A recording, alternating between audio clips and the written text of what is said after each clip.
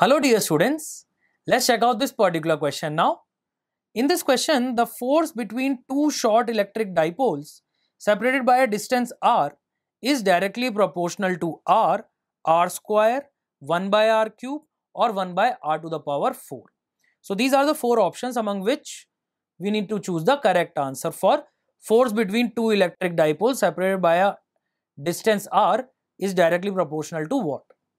So for two short electric dipoles, electric field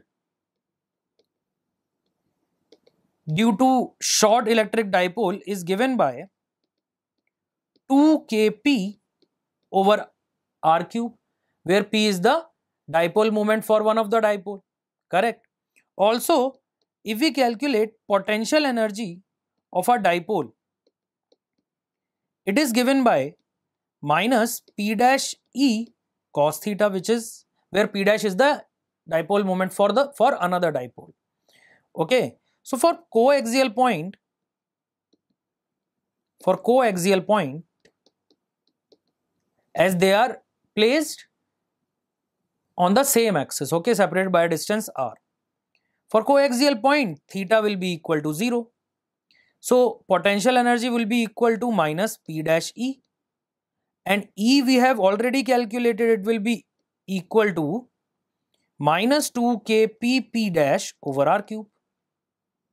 Okay students. So we need to calculate force and relationship between force and potential energy is given by F is equal to minus du over dr. And if we differentiate this particular term with respect to r, we will be having force to be equal to 6k p p dash over r to the power 4. Okay. So from here, force is directly proportional to 1 over r to the power 4. Clear students? So according to our calculation, option number 4 must be the correct answer here. Let's verify this with our answer slide. So option number 4 is the correct answer here. Okay. I hope this particular question is clear to you. Thank you.